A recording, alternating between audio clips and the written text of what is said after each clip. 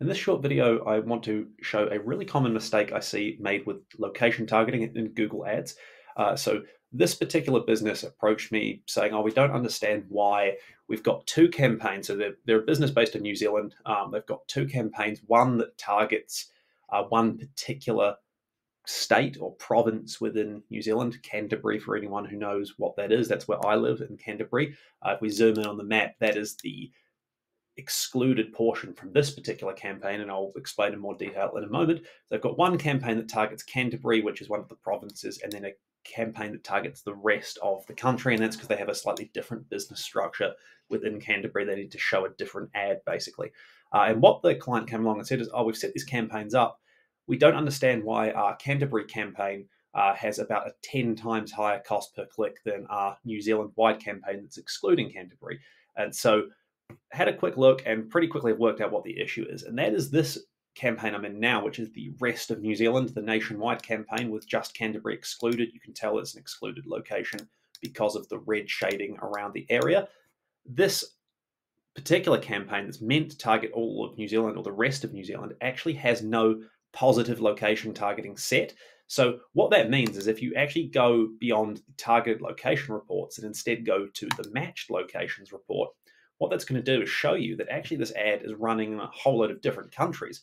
And you can see here that India, South Africa, UK, Malaysia, four different countries over the last 30 days that have actually seen uh, you know greater impressions and clicks on this advertiser's ads than you've seen uh, from New Zealand, which is the only place this business serves. You can't buy from this company if you're in India or South Africa or you're the UK. There's just no relevance. Um, they're not going to dispatch the product overseas.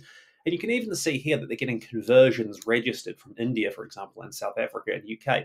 So people are going on and filling out a contact form, a sort of request pricing form. Uh, and the client is just seeing these as kind of spam requests, obviously, but actually what Google's doing is showing the ad.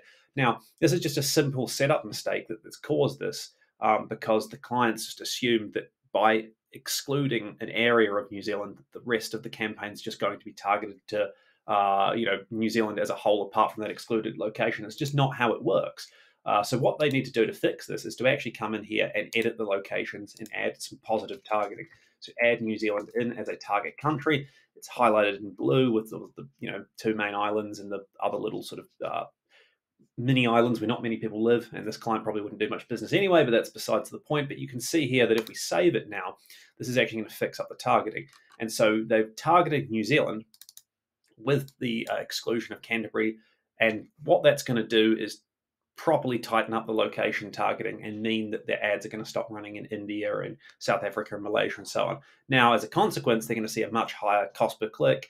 Uh, you know, they're going to see uh, sort of you know probable probable diminishing of impressions and clicks, but it's not really an issue because you don't want your ads running in the wrong countries anyway.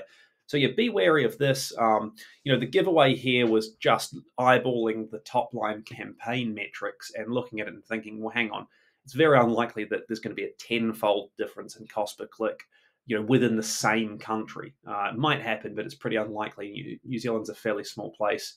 Um, you know, there's nothing happening in Canterbury that that would justify sort of 10 times higher cost per click for the same keywords than in Auckland or uh, Wellington down here or anywhere like that. So just be wary of this common mistake I see made. Um, it's one of the easiest ways to kill the performance of your campaign. And a lot of advertisers will not pick up on this because they just look at the top line metrics in the campaign or ad group uh, reports. They don't dig into the location targeting report and see what's going on. If you've got any questions on this, please let me know. You can leave a comment.